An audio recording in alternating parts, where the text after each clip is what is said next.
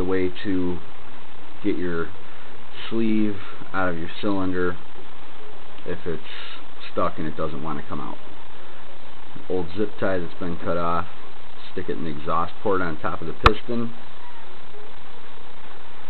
and then just turn the crank over to make the piston go up and push the sleeve up. Back off the piston, pull out your zip tie, take a small flathead screwdriver and just pry the lip up a little bit.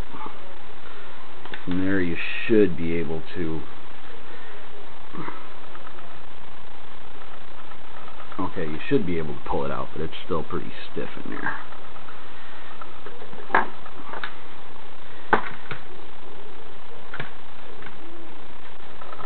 and we got the sleeve out. To remove your piston, you want to go to top dead center and just wiggle the rod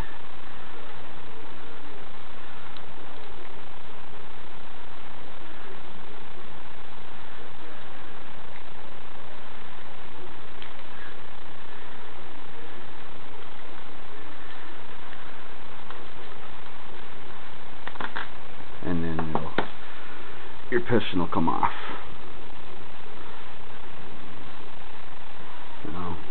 This rod does not have, oh yeah it does.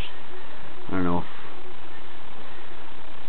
if you can see this, but there's a, a little tiny hole right there above the, uh, where the crank pin goes.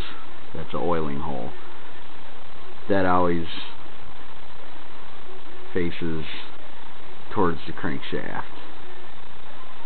because that's where the air and fuel mixture with the oil comes into the engine. You want that hitting those oil holes so it pushes oil to the rod ends. Take the crank out, get all your washers, your flywheel, everything off. And just push flat down on the table.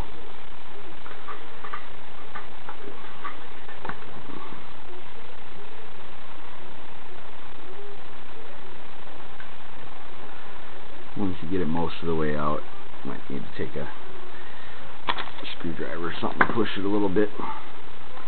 And there's your crank.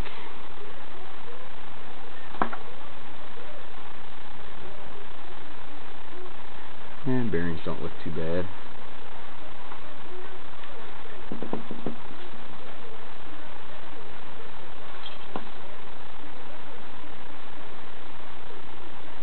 This is the OS 18 CVR that Jackhammer is letting me borrow. I figured I'd seal it up. Throw it around a little bit, I guess. Uh, the back plate was leaking. There's an O-ring that seals it, but I'm going to put RTV where the flange is. And that's it. My phone's ringing. Slayer, Angel of Death, my ringtone.